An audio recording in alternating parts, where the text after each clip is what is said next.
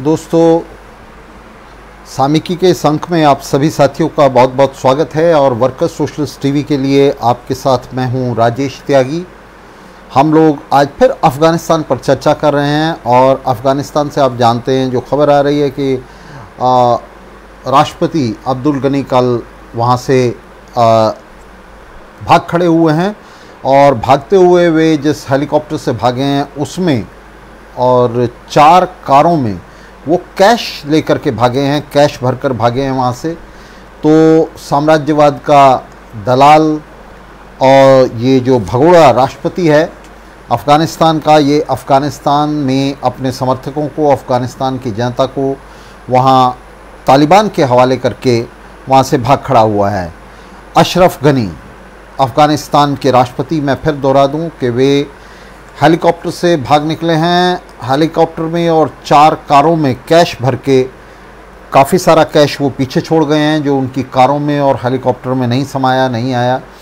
वो तालिबान के हवाले अफ़गानिस्तान को करके, काबुल को करके, राष्ट्रपति भवन को तालिबान के हवाले करके वहाँ से भाग निकले हैं, सबको धोखा देकर। तालिबान ने काबुल पर कब्ज़ा कर लिया है, राष्ट्रपति भवन पर कब्ज़ा कर लिया है और तालिबान लड़ाके इस पर कब्ज़ा करके वे वहाँ मौजूद हैं और इस बीच में काबुल एयरपोर्ट पर भारी भीड़ लोगों की लग गई है। ख़ासतौर से आप देखेंगे वो, वे लोग हैं जो राष्ट्रपति गनी के समर्थक थे, जो जिन्होंने अमेरिका और नाटो फोर्सेस के साथ वहाँ कॉपरेट किया था। और अब ये डर रहे हैं कि तालिबान जो है वो रिप्राइजल करेगा, वो दमन करेगा इनका। और इनको पकड़ेगा, इनके साथ अत्याचार करेगा। तो सबसे पहले आपने देखा किस तरह से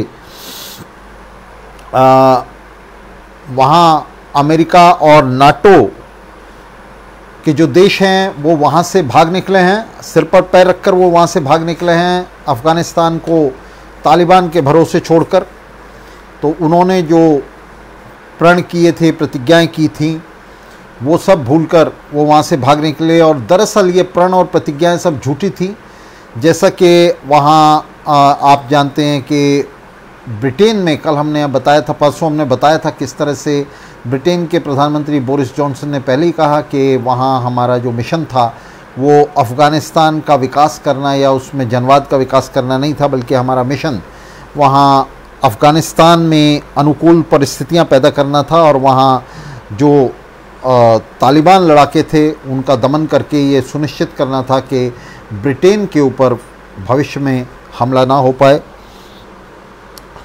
हम देख रहे हैं किस तरह से आ, मध्य आ, पूर्व में और पश्चिम एशिया में ये समीकरण राजनीतिक समीकरण पूरी तरह से बदल रहे हैं और इनके बदलने के साथ ही दुनिया भर में एक कोहराम मच गया एक हलचल मच गई है। तालिबान के अफ़गानिस्तान में सत्ता में आने के साथ एक तरफ़ तो इस काली ताकत के ख़िलाफ़ तमाम प्रगतिशील लोगों के बीच में एक चिंता की लहर दौड़ गई है और दूसरी तरफ़ उसके साथ साथ ये जो बड़ा फेल्योर हुआ है साम्राज्यवादी ताकतों का उनका सैनिक असफलता उन्हें मिली है और अफ़गानिस्तान को साम्राज्यवादी जुए के नीचे दबाए रखने में आ, उनका ये जो क्रैश हुआ है ये जो फेल्योर हुआ है इससे दुनिया भर में जो साम्राज्यवाद के ख़िलाफ़ लड़ने वाली ताकतें हैं उन्हें आ, बड़े पैमाने पर इससे जो है बल मिलेगा उन्हें ताकत मिलेगी। और ये जो एक मानसिकता बनी हुई थी एक मानस बना हुआ था दुनिया भर में कि अमेरिका और नाटो की जो ताकतें हैं अगर वे एक जगह मिल जाएँ तो उनका दुनिया भर में फिर कुछ नहीं बिगड़ सकता। और वे दुनिया भर में कुछ भी कर सकती हैं। और ऐसा लग रहा था कि जैसे पूरी दुनिया को वही चला रही हैं वही हाँक रही हैं। तो ये जो मानस है ये इसके साथ अब बदलेगा। वियतनाम युद्ध के बाद आप जानते हैं साइगॉन में अमेरिका को इसी तरह की बड़ी हार का सामना करना पड़ा था। और उसके लगभग छिहत्तर साल के बाद अब ये आ, जो है आ, ये बड़ा हाँ एक हादसा मैं कहूँगा कि अमेरिका और नाटो सरकारों के साथ हुआ है। और ये जो उनके साथ हादसा हुआ है, मैं इसे हादसा इसलिए कह रहा हूँ कि इसको नाटो, ना तो अमेरिका ने और ना ही नाटो ताकतों ने इसे कैलकुलेट किया था दोनों में से किसी को भी ये आशा नहीं थी कि उन्हें यहाँ से सिर पर पैर रखकर भागना पड़ेगा। अभी अभी अमेरिका के आ, अमेरिका के जो वहाँ रक्षा सचिव हैं एंटोनियो एंटनी ब्लिंकन उन्होंने जो है एक बयान दिया उन्होंने कहा है कि बिडेन का बचाव करते हुए उन्होंने बयान दिया है। उन्होंने कहा है कि वहाँ तालिबान लड़ाकों का जो ये हमला हुआ है। ये हमला इसलिए नहीं हुआ कि वहाँ से अमेरिका और नाटो फोर्सेस हट गई हैं, बल्कि ये हमला तो पहले से तय था। और अगर हम ना भी हटते तो भी तालिबान लड़ा के इस तरह का कब्ज़ा जो है, वहाँ लेने वाले थे और वे कब्ज़ा ले लेते। आप देखिए एयरपोर्ट पर किस तरह की भगदड़ मची हुई है। और आज इस भगदड़ में पाँच लोग जो हैं, वो बता रहे हैं कि स्टैम्पीड में मर गए हैं। कुछ लोग ये भी कह रहे हैं कि अमेरिकी सिक्योरिटी फोर्सेस ने अपने विमान को बचाने के लिए वहाँ जो गोलियाँ चलाई हैं आज एयरपोर्ट पर गोलियाँ चलाई हैं अमेरिकी सुरक्षा दस्तों ने तो उन गोलियों से भी बता रहे हैं कि लोग मरे हैं लेकिन ये कोई आ, आ, पक्की खबर नहीं आ रही है। कुछ ऐसा बता रहे हैं कि वहाँ स्टैम्पीड में लोग मरे हैं। हो सकता है कुछ स्टैम्पीड में और कुछ गोली से मरे हों। तो आ, लेकिन पाँच लोगों की आज मृत्यु हो गई है। अल जज़ीरा से अभी जो खबर आ रही है वो ये आ रही है कि पाँच लोगों की वहाँ एयरपोर्ट पर मृत्यु हो गई है। ये आप देखिए किस तरह से प्रेसिडेंशियल पैलेस में तालिबान के लड़ाके ये घुसे हुए हैं और ये वहाँ आराम से बैठे हुए हैं। आराम से ये वहाँ नाश्ता पानी कर रहे हैं। एयरपोर्ट पर बड़ी तादाद में लोग जमा हैं हज़ारों की तादाद में लोग जमा हैं। और वे वहाँ से निकाले जाने का इंतज़ार कर रहे हैं लेकिन नाटो फोर्सेस अमेरिका इन्हें निकालने के लिए आ, बहुत तवज्जो नहीं दे रहा है बहुत ध्यान नहीं दे रहा है। ब्रिटेन ने वहाँ जो है आ, अपनी फोर्सेस को वहाँ भेजा है और वहाँ से निकालने की कोशिश की। 500 लोगों को अभी तक ब्रिटेन वहाँ से निकाल पाया है। जबकि ब्रिटेन को वहाँ से 5000 लोगों को निकालना है। जर्मनी को 10000 लोगों को वहाँ से अभी निकालना है। और जर्मन चांसलर एंजेला मर्केल ने आज ये प्रस्ताव जो है, ये अपनी संसद के सामने रखा है कि वहाँ से दस हज़ार लोगों को निकाला जाना है। अभी जो स्थिति वहाँ बनी हुई है, जिस तरह से वहाँ अभी काबुल पर जो है तालिबान ने अधिकार कर लिया है, कल ही काबुल में तालिबान जो है घुस गया था और आज उन्होंने पूरी तरह उसे अपने नियंत्रण में ले लिया है। अभी ये जो काबुल एयरपोर्ट आपको दिखाई दे रहा है इसे अमेरिकी सैनिक जो हैं लगभग छः हज़ार सैनिक इसकी सुरक्षा कर रहे हैं वहाँ से लोगों को निकालने की आ, का प्रयास कर रहे हैं उसकी तैयारी कर रहे हैं। अभी लगता नहीं है कि तालिबान भी यहाँ किसी तरह की शरारत करने के मूड में है और वो समय दे रहा है। अमेरिकी फोर्सेस को कि वो यहाँ से इवेक्यूएट कर लें, जिन्हें निकलना है, वो निकल जाए। हालाँकि तालिबान ने एक बयान जारी किया है, जिसमें उसने कहा है कि एयरपोर्ट से जो लोग वापस आना चाहते हैं काबुल के अंदर उनका स्वागत है। और उन्हें कुछ नहीं कहा जाएगा। आश्वासन दिया है तालिबान ने। और आप देख सकते हैं कि इस समय तालिबान जो है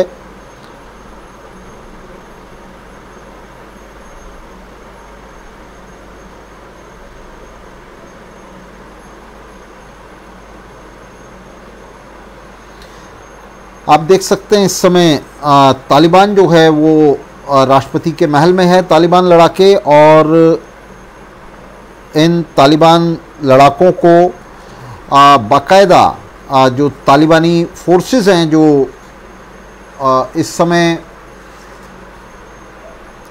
इस समय आ, आप देख सकते हैं वहाँ मौजूद हैं तो वो इनको जो है पूरा प्रश्रय दे रही हैं। और ये तालिबान लड़ाके जो हैं ये, और वहाँ साढ़े तीन लाख सैनिक अमेरिका और नाटो शक्तियों के वहाँ लड़ रहे थे। वो तमाम जो फोर्सेस हैं, वो वहाँ से सिर पर पैर रखकर भाग खड़ी हुई हैं। इस पूरी लड़ाई में 20 साल की लड़ाई में, अकेले अमेरिका के 2300 सैनिक मारे गए थे। बहुत सारे जख्मी हुए थे, उनके अंग भंग हुए थे। और ये जो युद्ध है, ये जो लड़ाई है, ये सबसे लंबी लड़ाई थी अमेरिका की। 20 साल जिसमें अमेरिका ने लगातार दो दशक इस लड़ाई को लड़ा। साढ़े पाँच बिलियन डॉलर जो है, वो वहाँ अभी उन्होंने फंड जो है वो दिया था अफ़गान सरकार को।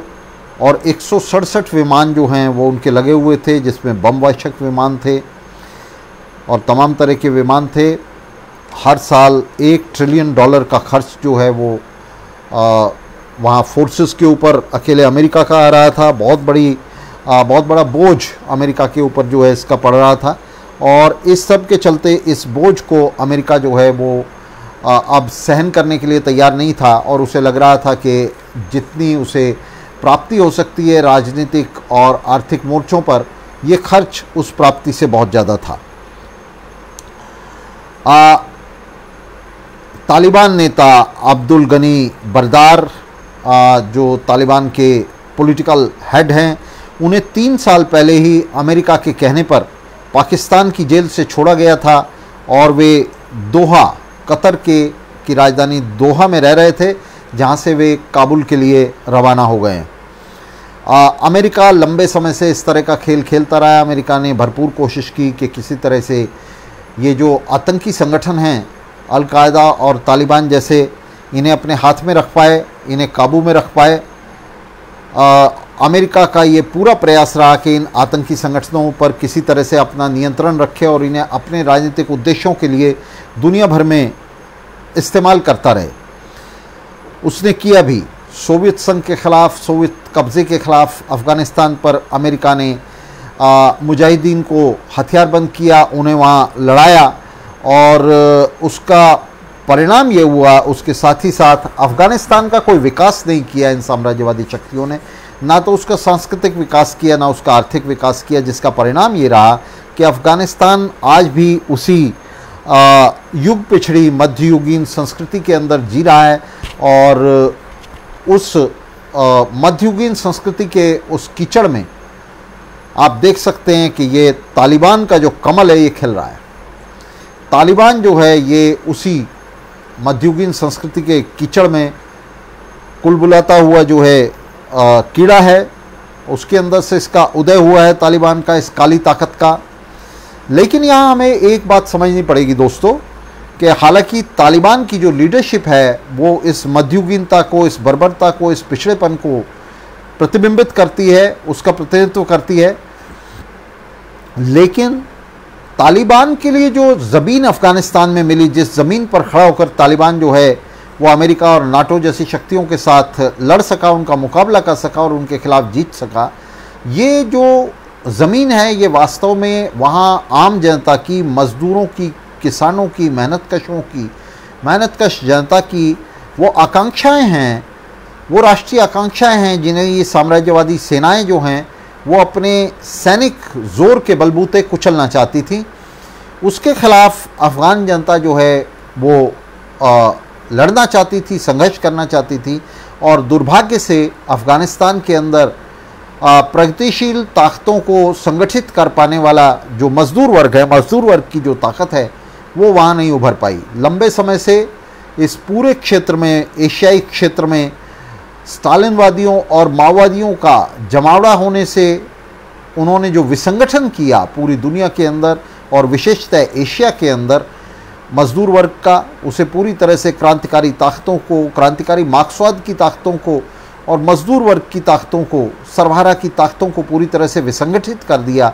उसके चलते ये जो युग पिछड़ी, मध्ययुगीन ताकतें हैं, तालिबान जैसी, ये सामने आई और इन्होंने आम जनता की मेहनत कश, जनता की ये जो एस्पिरेशंस है, उसकी जो आकांक्षाएँ हैं, साम्राज्यवाद विरोधी आकांक्षाएँ हैं, उसे स्वर देना शुरू किया और वे खुद उसका मूर्त रूप बन गए।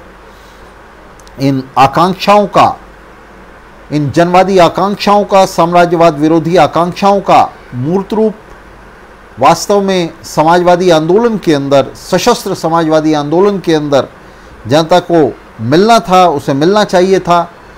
साम्राज्यवाद के खिलाफ इस संघर्ष में कम्युनिस्ट पार्टियों को, समाजवादी पार्टियों को सामने आना चाहिए था, लेकिन स्टालिनवादियों और माओवादियों के कार्यक्रमों ने उनके सीमित राष्ट्रवादी कार्यक्रमों ने, राष्ट्रोन्मुख कार्यक्रमों ने पूरी तरह से इस संघर्ष का दिवाला निकाल दिया, अंतर्राष्ट्रीय स्तर पर मजदूर वर्ग की गोलबंदी को रोक दिया। और मजदूर वर्ग की अंतर्राष्ट्रीयता को, सरवारा अंतर्राष्ट्रीयता को चकनाचूर करते हुए ये जो विरोध आंदोलन का, की जो लीडरशिप है, इस विरोध आंदोलन की जो लीडरशिप है, प्रतिपक्ष के आंदोलन की जो लीडरशिप है, ये उन्होंने राष्ट्रीय बूर्जुआजी के दक्षिणपंथी, घोर दक्षिणपंथी, बल्कि मैं कहूँगा फांसीवादी हिस्सों के हाथ में जो है उसको स्लिप हो जाने दिया, उसे फिसल जाने दिया। इसके परिणाम बहुत ही भयंकर हमारे सामने आ रहे हैं। आप इस वीडियो को देखें। इस वीडियो को देख सकते हैं जिसमें किस तरह का क्राइसिस किस तरह का संकट जो है वो वहाँ पैदा हो गया है।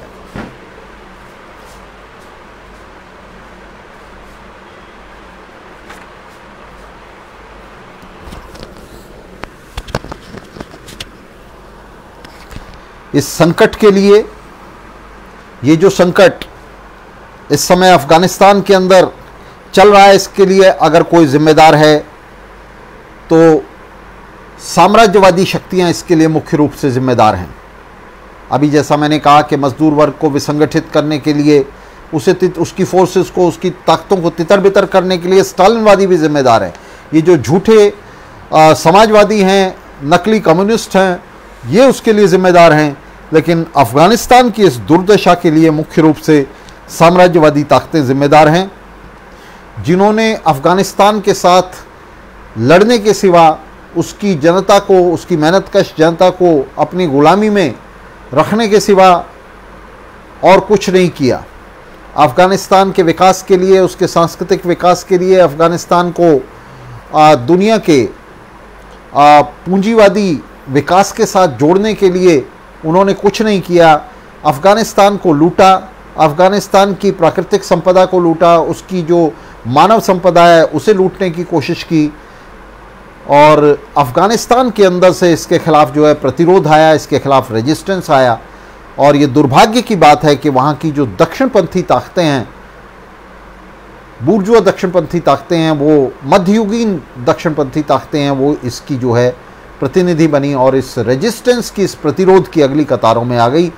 और इस प्रतिरोध की की जो मुख्य शक्ति है अफ़गानिस्तान के अंदर वो आज भी वहाँ की, वहाँ का जो मज़दूर वर्ग है, वहाँ की जो मेहनतकश जनता है, वो इस प्रतिरोध की मुख्य शक्ति है। लेकिन ये जो मुख्य शक्ति प्रतिरोध की है, ये तालिबान की लीडरशिप में, तालिबान जैसी ताकत की लीडरशिप में, उसके नेतृत्व में वहाँ काम कर रही है, ये दुर्भाग्य की बात है।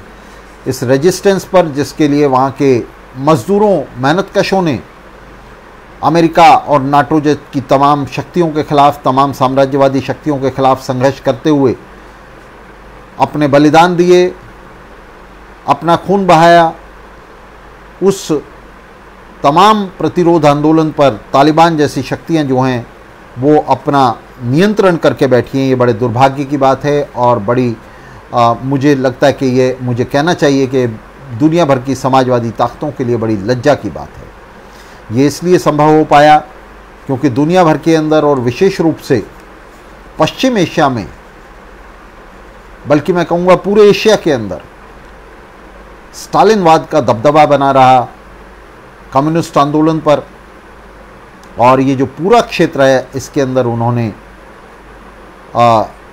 राष्ट्रीय बूर्जवाजी के सामने आत्मसमर्पण कर दिया। कितनी ही स्टालिनवादी पार्टी, जो साम्राज्यवादी देशों के स्टालिनवादी पार्टियाँ हैं, वे अपने अपने अपने देशों में अपने साम्राज्यवादी शासकों का समर्थन करती रहीं, अफ़गानिस्तान पर इस कब्ज़े का समर्थन करती रहीं। वे अफ़गानिस्तान के अंदर साम्राज्यवादियों के इस झूठ का, कि वे वहाँ किसी तरह के सिविलिटी मिशन के लिए हैं, किसी तरह की एक एक ऐसे मिशन पर काम कर रहे हैं जो अफ़गानिस्तान को सभ्य बनाएगा, अफ़गानिस्तान में लोकतंत्र की स्थापना करेगा।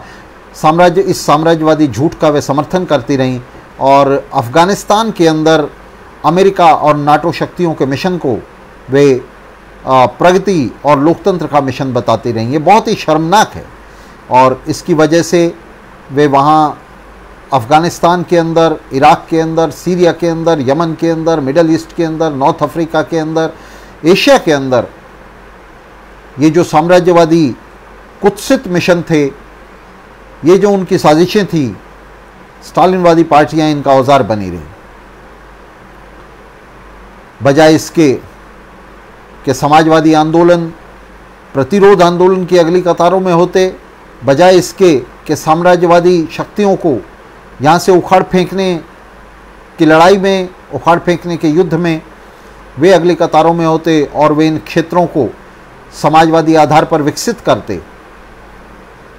यहाँ मजदूर किसानों को एकजुट करके वे मजदूर किसान सरकार की स्थापना करते, मजदूरों मेहनत कशों की सरकारों की स्थापना करते और उन्हें जोड़ते हुए समाजवादी संघों की स्थापना करते। बजाय इसके, आज इन शक्तियों का नामो निशान भी नहीं है। पूरी तरह से मजदूर वर्ग को एक वर्ग के तौर पर संगठित करने के बजाय उसे विसंगठित कर दिया गया है और उसे तालिबान जैसी काली ताकतों के भरोसे उनके नेतृत्व में छोड़कर ये स्टालिनवादी नेता पूरी तरह से धुआँ हो गए हैं, गायब हो गए हैं।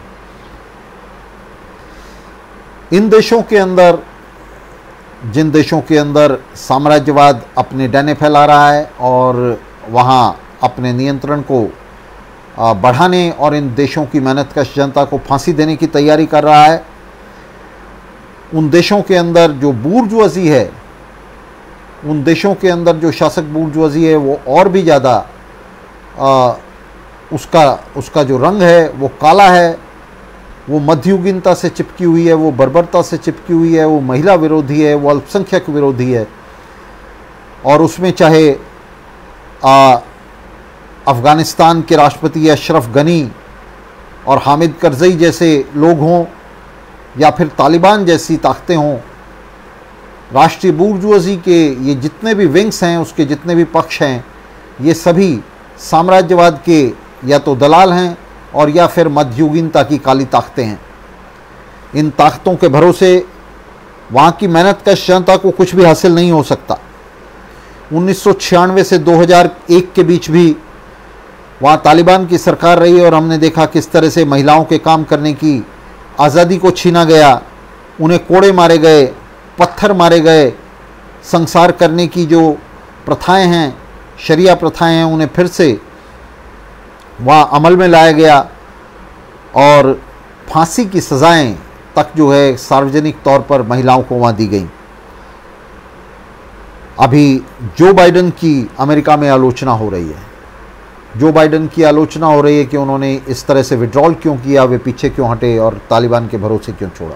जो बाइडन कह रहे हैं कि ये जो पीछे हटने की कार्रवाई है तालिबान के साथ समझौता है ये ट्रंप ने उन्होंने नहीं बल्कि ट्रंप ने शुरू किया था फरवरी 2020 में ट्रंप ने आ, तालिबान के साथ जो है ये समझौता किया था। इस समय आरोप प्रत्यारोप का ये दौर चल रहा है और ये जो बाइडन और ट्रंप के बीच में नहीं, अमेरिकी एस्टेब्लिशमेंट के अंदर नहीं, बल्कि उसके बाहर भी चल रहा है। यूरोपीय ताकतें, नाटो की ताकतें अमेरिका पर और आरोप लगा रही हैं और अमेरिका जो है वो नाटो ताकतों पर आरोप लगा रहा है कि ये जो फेल्योर हुआ है अफ़गानिस्तान में, इसके लिए वो ज़िम्मेदार हैं।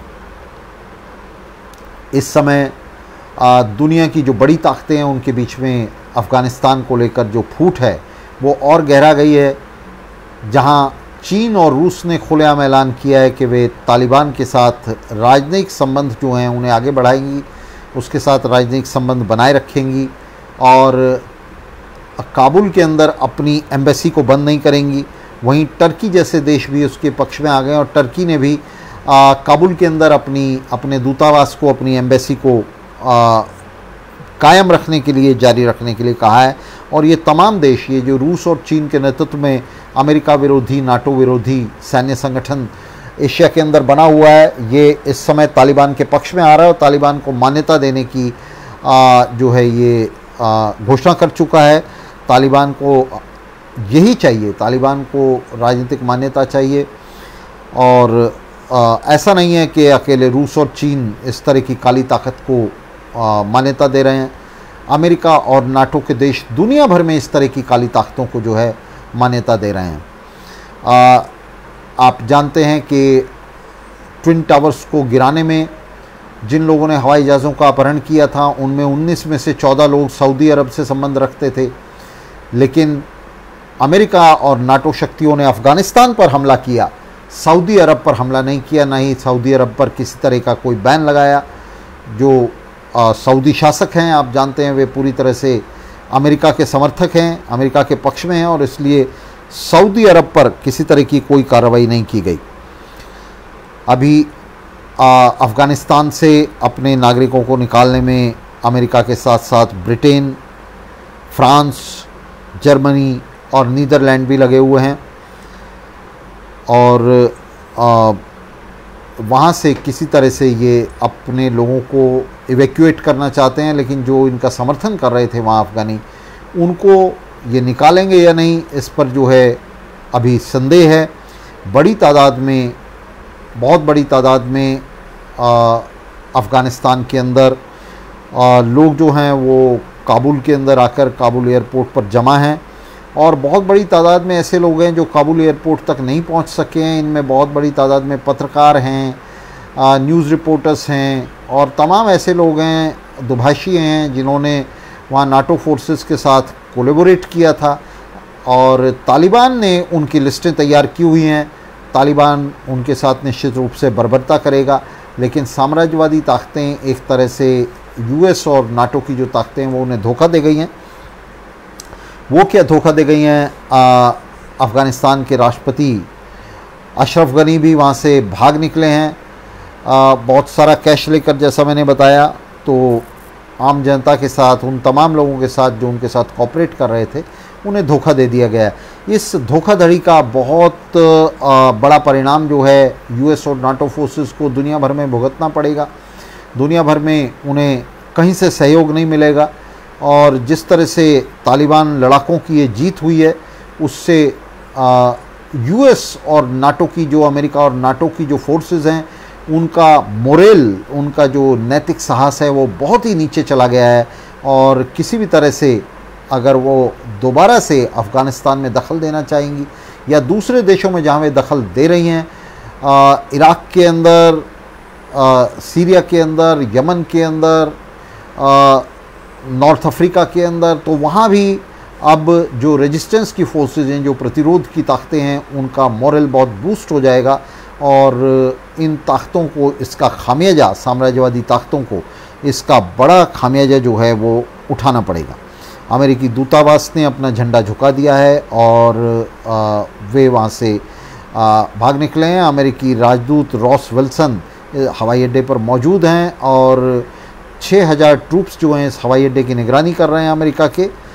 और वहाँ हालत ये हो रही है, आप देख सकते हैं कि पाँच लोग तो स्टम्पीड में मरे हैं और दो लोगों ने अपने आप को एक अमेरिकी हेलीकॉप्टर के पहिए से जो है, अपने आप को बाँध लिया था, एक विमान के पहिए से बाँध लिया था, वहाँ से बचकर निकलने के लिए, जिससे वो गिरकर मर गए हैं। तो दो लोगों की और मृत्यु वहाँ जो है हो गई है।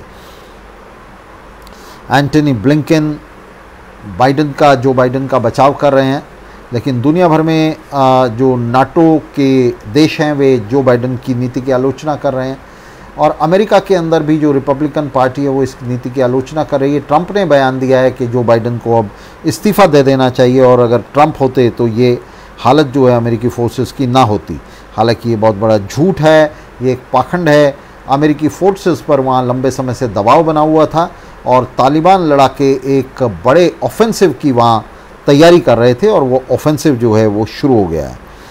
इधर अमेरिकी सेनाओं का मॉरल जो है वो नीचे जाने से दुनिया भर में चिंता फैल गई है और आज अभी एक और खबर जो आ रही है वो ये आ रही है कि उज़्बेक बॉर्डर के पास एक अफ़गान एयरफोर्स के जहाज़ को गिरा दिया गया है। ये निश्चित रूप से उज़्बेकिस्तान के अंदर जो तालिबान की सहयोगी फोर्सेस हैं तालिबान के सहयोगी संगठन है, सैटेलाइट संगठन है, ये उन्होंने जो है इसको गिराया है। और ये एक लड़ाई फैल गई है अमेरिका के ख़िलाफ़, जिसका परिणाम आप देखेंगे कि रूस और उसके इर्द गिर्द जो देश हैं, उसके जो सेटेलाइट कंट्री हैं, उज़्बेकिस्तान जैसे, ताजिकिस्तान जैसे, उनके अंदर भी ये लड़ाई जो है लगातार फैल जाएगी। आज इमरान खान ने पाकिस्तान के प्रधानमंत्री ने एक बड़ा बयान दिया। उन्होंने कहा है कि अफ़गानिस्तान अफ़गानों ने ग़ुलामी की जंजीर तोड़ फेंकी है। उनका यह बयान हालाँकि आप जानते हैं कि इमरान खान का बड़ा दोगला चरित्र रहा है। वे कभी तालिबान का समर्थन करते हैं कभी अमेरिका का समर्थन करते हैं दोनों तरफ़ हाथ रखने की कोशिश कर रहे हैं। आ, आ, लेकिन उनका यह बयान जो है ये दिखा रहा है कि तालिबान की इस विक्ट्री के बाद तालिबान की इस जीत के बाद इमरान खान अपने स्टैंड को वहाँ बदलना चाह रहे हैं और वे तालिबान के पक्ष में खड़े होने चाह रहे हैं। कल रात आ, काबुल में हालाँकि बिना किसी प्रतिरोध के बिना किसी रेजिस्टेंस के तालिबान की फोर्सेस घुस गई हैं और अफ़गान फोर्सेस जो हैं वो पूरी तरह से सरकारी जो वहाँ सेनाएँ हैं वो पूरी तरह से मेल्ट डाउन कर गई हैं पिघल गई हैं लेकिन इसके बावजूद भी वहाँ गोलियों के चलने और बमों के धमाके धमाके की आवाज़ वहाँ आती रही और 80 घायल जो हैं वहाँ अस्पताल में भर्ती किए गए हैं। बमों के धमाके की आवाज़ आती रही और आ, ये ये जो वहाँ गोलियों के चलने और बमों के धमाके से हमें पता चल रहा है कि तालिबान की जो ताकतें हैं वो वहाँ अपना जो हिंसक खेल है वो खेल रही हैं। इधर आ, रूस और चीन के तालिबान के पक्ष में आ जाने से एशिया के अंदर जो संतुलन बना हुआ था, सैनिक और कूटनीतिक संतुलन बना हुआ था, वो बिगड़ता नज़र आ रहा है। तालिबान लड़ाके अगर चीन और रूस के साथ आ जाते हैं तो इस पूरे इलाके में जो अमेरिका और नाटो के पक्ष की ताकतें हैं, जिनमें से भारत भी एक है, उनके लिए बहुत बड़ी मुसीबत तुरंत ही खड़ी हो जाने वाली है। तालिबान परोक्ष युद्ध के ज़रिए जिसे टेररिज्म कहा जाता है, आतंकवाद कहा जाता है, वो इन देशों के अंदर पेनिट्रेट करने की कोशिश करेगा, इन्हें अस्थिर करेगा और रूस और चीन तालिबान को हथियार बनाकर, अफ़गान मुजाहिदीनों को हथियार बनाकर इन देशों के ख़िलाफ़ इस्तेमाल कर सकते हैं।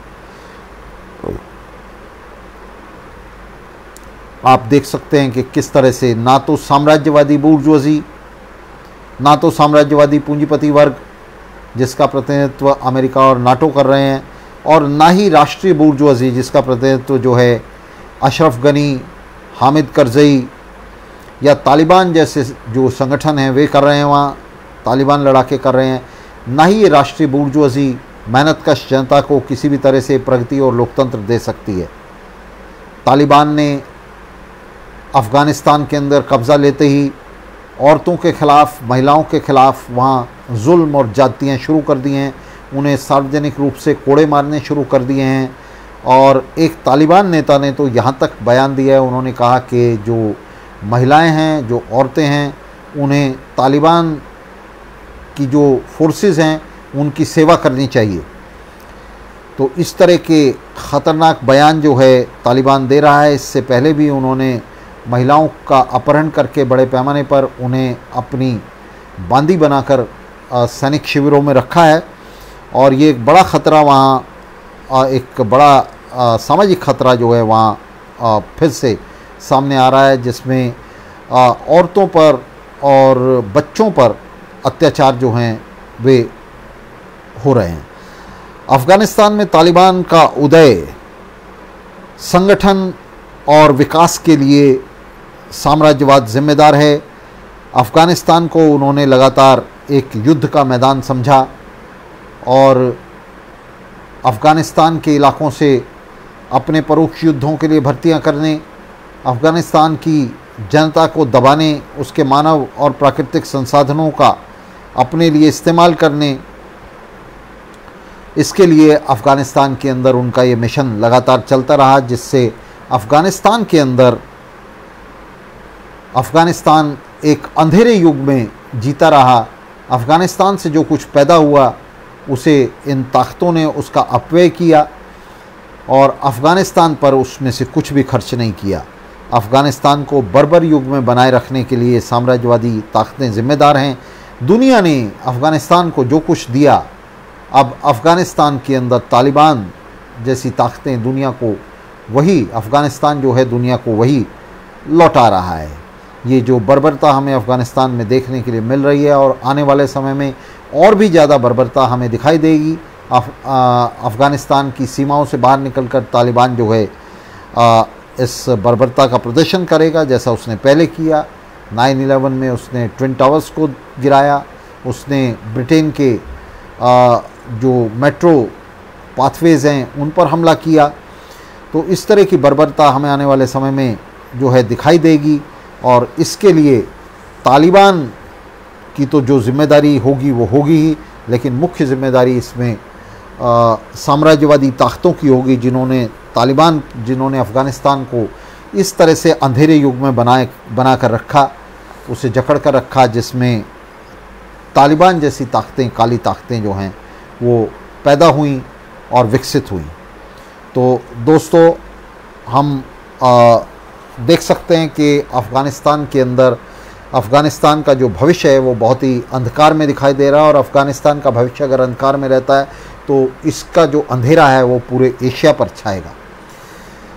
तो इसको, इस अंधेरे से बाहर निकालने के लिए, इस अंधेरे को ख़त्म करने के लिए जो चुनौती है, वो वहाँ मज़दूर वर्ग को स्वीकार करनी पड़ेगी। और ये अफ़गानिस्तान के मज़दूर वर्ग की हम बात नहीं कर रहे हैं, बल्कि पूरे पश्चिम एशिया, पूरे एशिया के मज़दूर वर्ग की और उसके साथ ही पूरे दुनिया के मज़दूर वर्ग की बात कर रहे हैं।